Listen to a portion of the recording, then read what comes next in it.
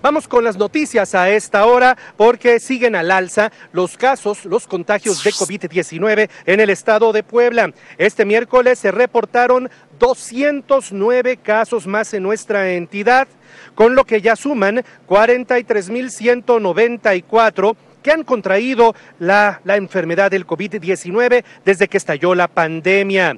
En este, noven, en este momento hay 498 pacientes hospitalizados, 80 se encuentran en una condición de salud grave. En las últimas horas han fallecido 15 personas más, por lo que Puebla ha alcanzado los 5.479 casos. En particular, esta mañana el gobernador del estado externó su preocupación porque del total de contagios registrados en el último informe, 144, 154, corrijo, corresponden a la capital de Puebla. Si en Puebla capital, si en la zona metropolitana la gente no vuelve a guardar distancia, si la gente no usa de manera adecuada y responsable el cubrebocas, la capital de Puebla, la zona metropolitana, podría volverse el acabose en materia de pandemia para el estado de Puebla. Sí, hay preocupación justamente este día por, por este tema.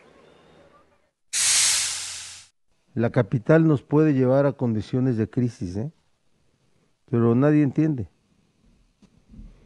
Nadie quiere entender, nadie quiere consolidar, nadie quiere disciplinarse. Y las autoridades de, municipales de Puebla ausentes. No existe ese problema para ellos.